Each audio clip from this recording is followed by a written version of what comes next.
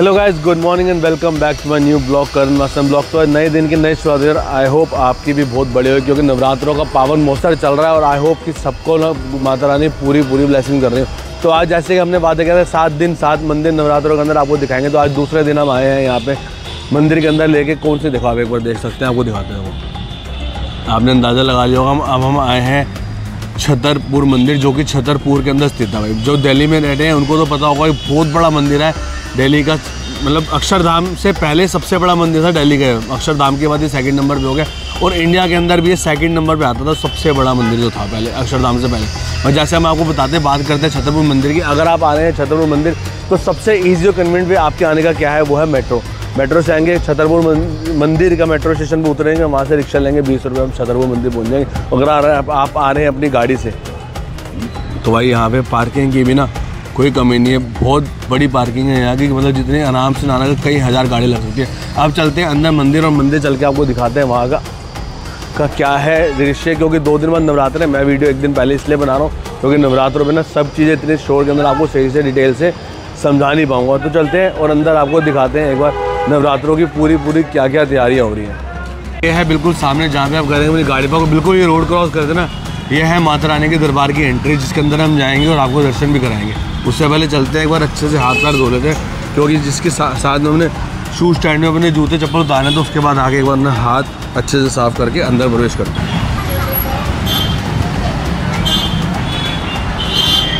तो देखो, मंदिर के अंदर आते हैं ना, यहाँ पहले बना हुआ है, यहाँ पूरा ये पीपल का पेड़ है, जिसके अंदर ना लोग चुन्नी बाँध के अपने लिए जो ब्लेसिंग्स होती है, जो भी अपनी खुद की दुआ होती है वो सब यहाँ पे बांधते हैं चुन्नी, और उससे मांग जाती है ये प्रथा भी ना कई साल पुरानी चलती आ रही है।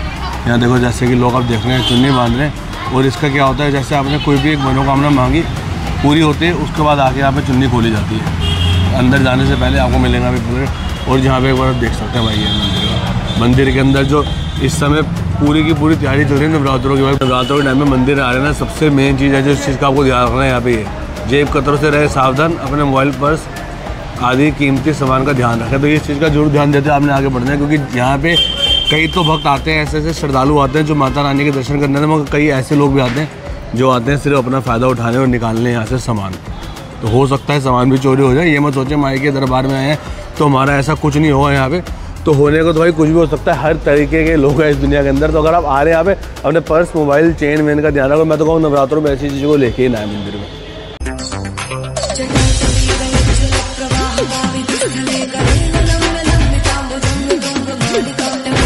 है मंदिर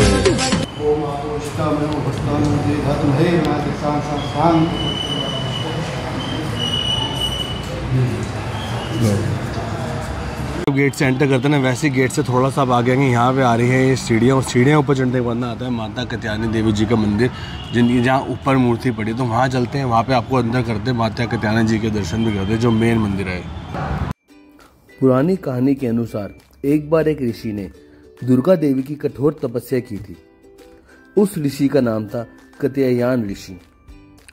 उस ऋषि की कठोर तपस्या को देखकर दुर्गा देवी इतनी प्रसन्न हुई और उस ऋषि के सामने प्रकट हुई।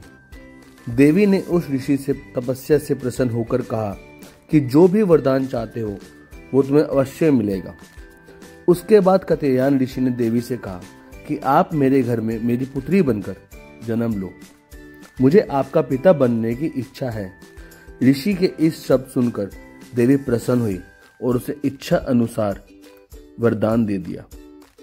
देवी ने ऋषि के घर में कतयान पुत्री के रूप में जन्म लिया और तभी से देवी का उस अवतार को कतियानी देवी अवतार कहा जाता है। इसलिए दिल्ली के इस मंदिर को कतियानी देवी का छतरपुर मंदिर भी कहा जाता है। छतरपुर मंदिर की स्थापना 1974 में बाबा संत नागपाल जी द्वारा की गई थी, जिनकी मृत्यु 1998 में हुई थी। इनकी समाधि भी इस मंदिर के परिसर में मौजूद है। बाबा नागपाल जी ने इस मंदिर का पूरा जो बनाया है, वो बनाया तो उन्होंने देखो, पूरा एक ना ऐसे डाइनिंग टेबल टाइप बना रखी थी, जिसके अंदर ऐसा कहा जाता था, माता रानी के जो नौ रूप है वो नौ के नौ रूप आके यहाँ पे बैठ के अपना विचार विचार करने के लिए, विचार करने के लिए माता रानी के लिए ये डाइनिंग टेबल का एक सेट टाइप बना देखो। एक, दो, तीन, चार, पाँच छः सात, आठ, नौ। तो नौ चेयर्स लगा रखे नौ के नौ रूप जो थे माता रानी के, वो यहाँ पे आके अपना विचार करना चाहते थे तो उसके लिए करते और यहाँ बनाया था, उन्होंने अपने एक इच्छा अनुसार पूरा का पूरा रूम देखो। जिसके अंदर माता रानी का ड्रेसिंग टेबल भी बनाया हुआ है, पूरा चूड़ियों से श्रृंगार के लिए सारी की सारी चीज़ें रखी हुई अंदर। आप देख सकते हैं, देखिए भाई, आपको दिखाते हैं आगे, ये देखिए। ये माता रानी के लिए बनाया है, बाबा नागपाल जी ने, और ये देखो माता रानी जी जहाँ पे विश्राम करती थी, उनके लिए ये जगह बनाई है पूरी। तो मतलब प्रॉपर एक पूरा रूम सेट किया हुआ था उन्होंने माता रानी के लिए कि यहाँ पे कत्यानी माता जी आराम से बैठ के विचार दिए बाबा नागपाल जी। जैसे उन्नीस सौ पचासी में वो थे, वैसे कि वैसे उनकी वहाँ पे तस्वीर लगा गई है। तो ये चीज़ भी आपको हर मंदिर में देखने को नहीं मिलती, देखें।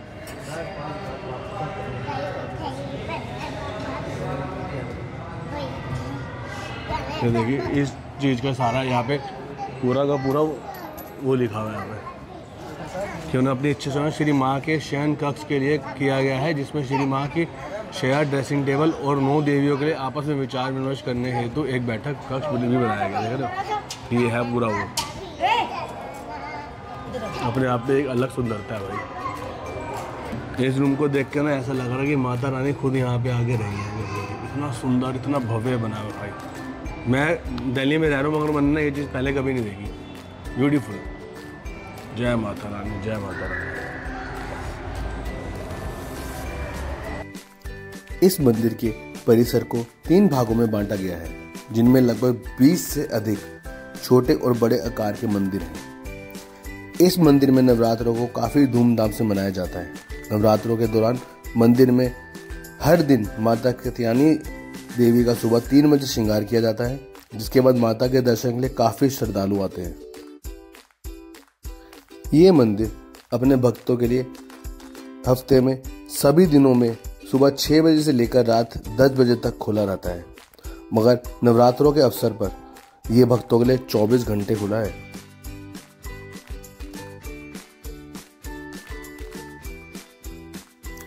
देवी दुर्गा के छठे स्वरूप माता कतियानी को समर्पित यह मंदिर बेहद ही खूबसूरत है। लोगों की ऐसी आस्था भी है कि छतरपुर मंदिर जाके जो कुछ भी आप मांगे, वह आपको मिलता है। लोगों का ऐसा कहना है कि यहाँ ना सिर्फ़ लोगों की मन चाहित फल मिलता है, बल्कि यहाँ पे ऐसी कई कुआरी कन्याओं को वर भी मिले हैं, जिनकी कई सालों से शादी नहीं हो रही थी। और कई महिलाओं की यहाँ आकर गोद भी भरी है। यह तो माता की शक्ति है जो सबकी झोली इतनी खुशियों से भर जाती है। क्या आप जानते हैं कि इस मंदिर में स्थित माता की मूर्ति के लिए जो माला बनाई जाती है, उसमें करीब करीब हर तरह के फूल होते हैं और यह फूल पूरे दक्षिण भारत से आते हैं।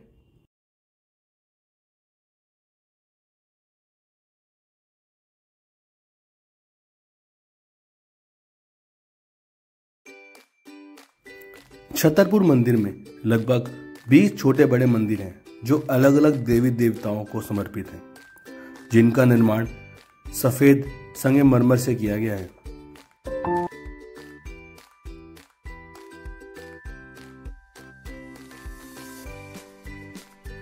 और अब जैसे कि हमारे सामने देख सकते हैं, माता लक्ष्मी और गणेश जी की इतनी सुंदर फ़ोटो और ये सामने सारा जो स्ट्रक्चर बनाया गया, सारा का सारा संगे मरमर से बनाया हुआ है। देख रहे हैं इसकी खूबसूरती। इतनी खूबसूरती, इतना भव्य मंदिर मैंने आज तक नहीं देखा। अंदर आके तो इसकी वाइब्स इतनी अलग थी कि ऐसा लग रहा था जो मांगने की देर है, वो मुझे मिल गया है। इस मंदिर के अंदर बाबा नागपाल जी का एक म्यूज़ियम भी बनाया गया है, जिसके अंदर वो सारी चीज़ें रखी गई हैं, जो बाबा नागपाल जी खुद यूज़ किया करते थे, उनके शुरू के पलों से लेके उनके आखिरी पलों तक।